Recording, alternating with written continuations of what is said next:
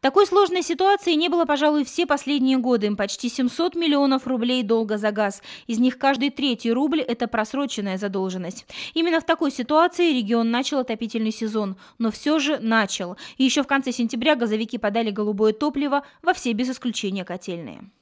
Несмотря на многомиллионные долги за газ, все газовые котельные области работают в нормальном режиме. И мы гарантируем бесперебойное газоснабжение поставок голубого топлива. Вместе с тем, нас беспокоят долги за газ в следующих районах.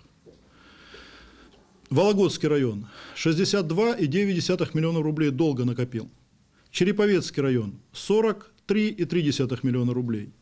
И если сегодня такая сложная ситуация за газ, то что будет в декабре? Серьезные долги также у Тотемского и Чагодощинского районов. Ранее главы подписали графики реструктуризации задолженности, но уже сейчас начали их нарушать. Проблемные моменты возникают почти во всех уголках Вологодской области, и причин здесь много. Это и долги населения, и несвоевременные дотации из бюджетов разных уровней. Газовики сегодня призвали своих потребителей срочно рассчитаться за газ, ведь впереди морозная зима, газопотребление вырастет в разы, что может привести к увеличению суммы долгов. Ни о каких отключениях исключениях компания «Газпром Межрегион Газ Вологда» речи не ведет, но готова преследовать должников в судебном порядке. Меры, конечно, будут приняты.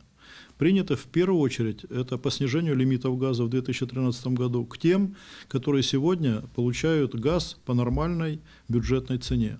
Если ты сегодня не хочешь платить э, по нормальной цене, будем это реально, и не выполняешь свои обязательства, извини, значит, будешь доказывать значит, э, свою способность э, и финансовую устойчивость э, после 15 марта следующего года. Кроме того, долги могут привести и к другой проблеме – снижению инвестиций «Газпрома» в газификацию региона. Здесь связь прямо пропорциональная. Так что сегодня это вопрос не только энергобезопасности, но и будущего развития области.